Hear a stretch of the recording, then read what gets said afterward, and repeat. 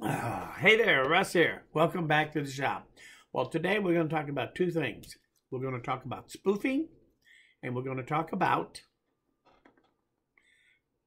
my OTB power outlet unit. um, you got to stick to the end to find out about the spoofing. But let me go over this, and then at the end, I'm going to do a, just before the end, I'm going to do a demo on this. But we're going to plug in not one fan. This is a 12 volt fan. This is a USB fan. This is a power pack that I can charge off of a USB port. And I have this plug in going to another fan, to one of my Ryobi hybrid fans. And we're going to plug this in. And we're going to run all this stuff all at once. So first, let's take a quick look at what this is. Let me start by defining what this is and what makes this so unique. This is a power outlet.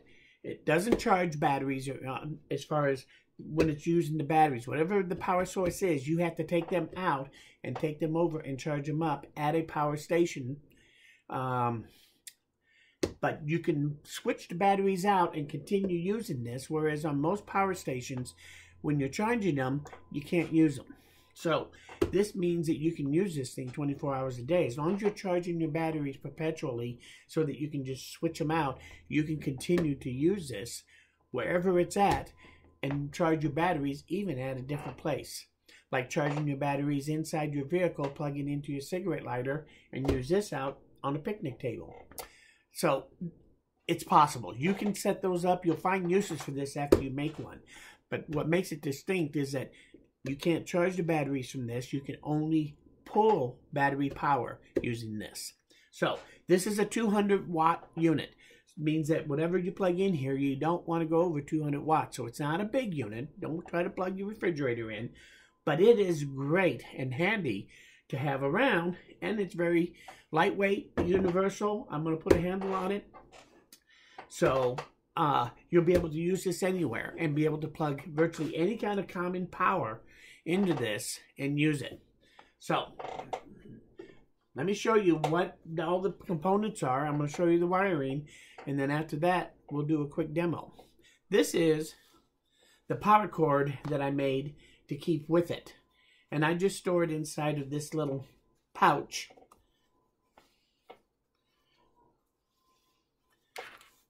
And it's the cigarette lighter plug-in and it's two alligator clips on the other. That way you can hook this up to just about anything that you can hook the alligator clips up to and run power from this to that at 12 volts. So this is something that will always be with this box as a one of the plugins adapters that you can use with it. And we're going to hook this up to our 12 volt fan. So I hook the red onto here, hook the black onto here, and I'm ready to plug this in and run it. So let's take a quick look at this and then we'll plug a battery in and use it. First off, to use it, you have to plug your battery in here and you use a Phillips screwdriver, put it in there, turn this a quarter of a turn, and it locks it in and it gives you your voltage. So now I can run the voltage and it's all running off of this one battery right here. So, you take it out, you turn that back a quarter inch, the light goes out, you can take your battery out. It has this 12 volt plug in here. This switch turns on the USB and this 12 volt and these banana uh, connectors. So you can hook up all of these run through this switch. This is a 110 and it does have some USB up here, but I don't know why I would ever use them since I have these. Because these run through here, which means you lose more power when that goes through here as it transforms it from DC to AC. But it does have the 110 outlets. 200 watts. Anywhere on this, you can run up to 200 watts from it without any problem using the Ryobi batteries. I use the 5 hour batteries for everything I do. And when I build the battery bank, which I talked about in my last video, uh, the battery bank will also be based on OnePlus batteries, and I'm using 5 amp hour batteries as my battery source for doing everything. So I'll have several five. Those are the same batteries I use in my shop anyway, so I can grab them all, put them into a battery pack, grab a battery uh, power outlet, and take off. So um, I have not put the plug-in on this yet. I'll do that when I get the power banks, the um, battery banks, when I get those built that plug into here, then I'll decide for sure what plug-in I'm going to use to have on here to be able to plug it in there. And you can use any battery system you want on this. Instead of using Ryobi, if you have Milwaukee or Makita or whatever, you can just change this part out here and you can use this to run any power tool. You could also switch this out and use a generic 12 volt batteries that you can buy in 5 amp, 10 amp, or whatever amp hour battery you want to buy. Buy a, a few of those so you can switch them out and charge them. And you could run the same type of unit off of those 12 volt systems, but you would have to design it with uh, that runs off a 12 volt battery instead of an 18 volt. This one is designed to run 18 volt batteries. So if you're going to switch out that, you might want to take a close look at the wiring diagram because you would have to take away the buck converter in the wiring diagram. So let's take a look inside real quick. I got this all laid out. Everything's labeled. And I had this all set up, ready to go. Two screws is what holds the back panel on now.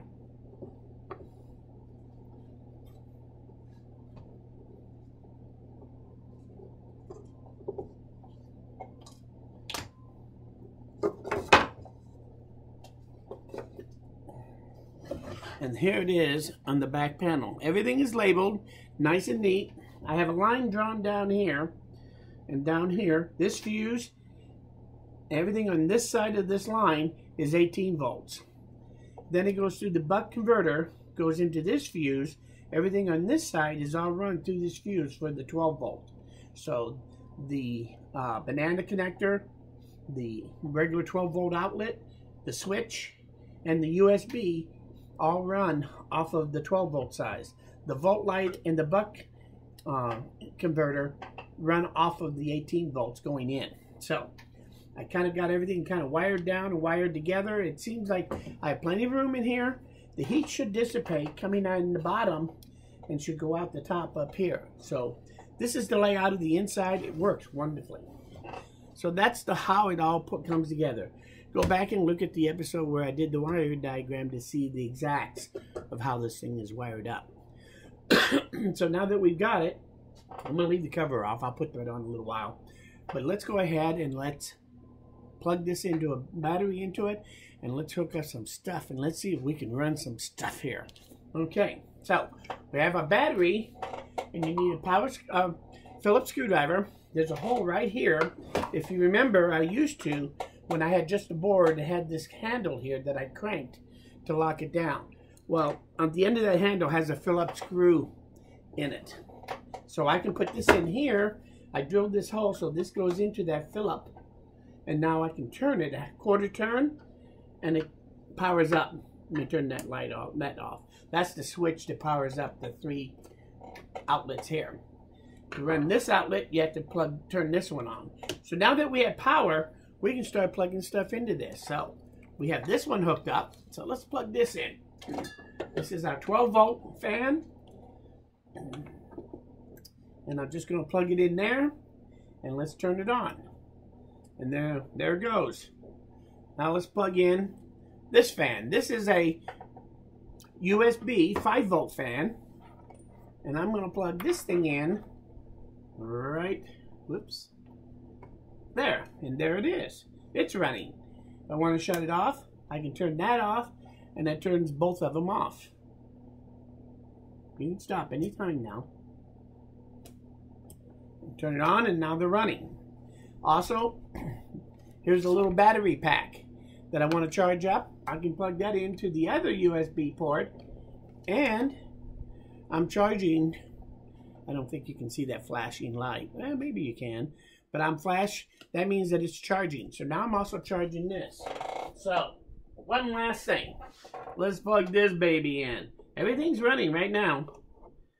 We're going to turn it on. The little light will light up. Turn blue. And now we can take our fan. And here we are running everything. So, and as you can see, everything does run. Now you did it.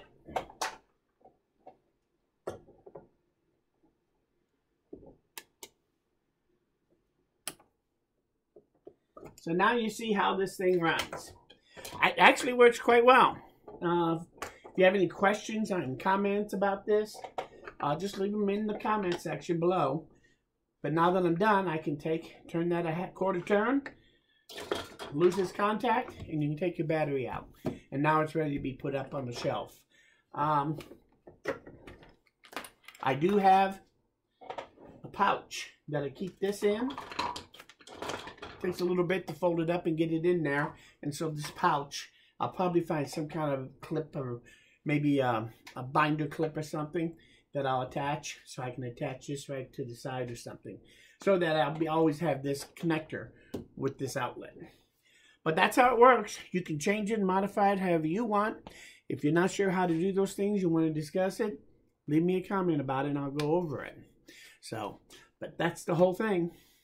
Uh, the last thing I want to talk about, now that you have this, any questions, just as you know. oh, one quick thing. I have a vent right here. It's a 3 16 inch of a gap at the top of the box. When I put the back plate on here, it has that same gap at the bottom down here. So air comes in the bottom and it comes out the top. So any heat that's generated in here should be able to escape out through the top rather than getting building up heat inside of this. So I think that's all I really need. I don't think I need any kind of fan for this kind of setup because I'm only drawing 200 watts anyway. That's all this thing will do. If you put one battery in it right here, you can run 200 watts easily. If you want to, want it to run for hours at a time instead let's say you run off of one hour off of this, if you use the battery bank that I'm in the middle of designing, that will plug directly into this too. So instead of running off of one battery, you can have this thing running off as many as six or however many batteries that you build your battery bank to hold. And so you can turn this in so it would run for hours nonstop. And you can rotate the batteries because you charge your batteries separate from this. That's why it's a power unit and not a power station. Because if you have one of those other ones, those small ones, you have to charge them. You can't use it while you're charging. With this, you can just keep your batteries rotating, plug them in at your car, start your car up and charge your batteries up in an hour, and then run them all day long out of this unit and all night, depending on how many batteries you rotate charging and using. So it works real well. It's very versatile. What are you going to do with something like this? I don't know. I am starting to find uses for it, is all I can tell you. But it's very handy to be able to pick this up and take it and draw power out of any of the three major power sources that are out there. And I'll be able to use them with this. Now, I don't have a that 5 volt C plug-in or whatever it is in this, but they make those in little cigarette lighter type plug-ins, so you can just plug them into your cigarette lighter and then plug in those high output USB. And I'll be able to get one of those eventually, and I'll have it to be able to plug it in here and plug in that sort of thing. Any future changes of standard plug-ins that really that will also be made, I suspect, to plug into a cigarette lighter type plug-in and you'll be able to use it. So this will still work pretty versatile for most plugins that you might need to think up to put into this. Plus, you could add more plugins on here if you wanted to. You can put all sorts of different type of plugins at 12 volt or 5 volts or whatever you want. So it makes it pretty versatile to be able to do everything. Uh, all these things that I've seen, they always make them real small so that the battery is the biggest part. But I decided I wanted to make something that had plenty of room to expand and to do other things with it. And it's still small enough for me to be able to use it, even with the battery plugged into it. I'll be able to use this as one of my OnePlus power tools. So looking forward to using this more and more. I'm finding new uses for it all the time. Um, the other thing I want to talk about is spoofing. Have you ever heard of spoofing? Well, I didn't either until the other day. Uh, you know who on her private phone number. She has two phones that she's had for 25 years, and they're in numerical order. So you know when you get one of those dialers that these people are just dialing the numbers one right after the other. It'll ring on one phone, and all of a sudden, two minutes later, when that stops, it rings on the next one. It just, it's so obvious to her when those things are going on. Well, the other day, we had we got what you call spoofed. What spoofing is, is when one of those dialers, they always like to put a fake ID on there so that when you look at the phone number to answer it, it looks like somebody from your area code. You go, I don't recognize that number. Who is that? And so that gets them to answer. Well, if they haven't been able to answer the phone, it just records that you called them. And guess what? They used her phone number to use as an auto dialer. So all these people were looking at that and say, Who is that? She was getting calls. The first half hour, she got like 10 calls. and it said that, Hey, you called me. I just want to, who is this? What do you want? She, I didn't call you. So after about 20, 30 minutes, she asked me about it, and I looked at what was going on, and I'd never seen it before, but I kind of guessed that this is, if these IDs were showing up on their phones, because somebody had, was using her ID, her phone number, as their phone ID. And so that's why they were calling her. Because uh, some people, when they get a call they don't recognize, they'll call it back and see who it is and see what they missed. Uh, I don't normally do that unless it's a phone number I recognize. But that goes on all the time. So over two days, she got over 400 calls like that. What a pain for two days. Needless to say, it was a little stressful in there. I spent a lot more time out here than usual because she definitely was not happy with that happened. We called the company where she has her phone, and this is where we found out that it was called spoofing because they said, "Oh yeah, that's spoofing. Oh, there's nothing we can do about it. Sorry." They don't even care. So there's nothing you can do about it if they happen to pick your number to put on their auto dialer. Hang on for a couple of days of a lot of phone calls because it could happen to anybody. And maybe it's happened to you and you already know about this. I'd love to hear about it if you know anything about this sort of thing. I think it's an interesting topic that I just learned. So, but if you have any comments about that, leave them in the comments. In any case, I do want to thank you for stopping by. Don't be afraid to leave your thoughts and comments. I enjoy reading them all, and those words of encouragement is what keeps me going. If you like this video or you learned something here, and I would think that you might have learned something, maybe not. Anyway, if you did, hit that like button. Lets me know that I'm doing the right thing. Most importantly, though, please come back again because I'm nowhere near done. Hmm. Thanks. Thanks. And we'll see you guys again soon.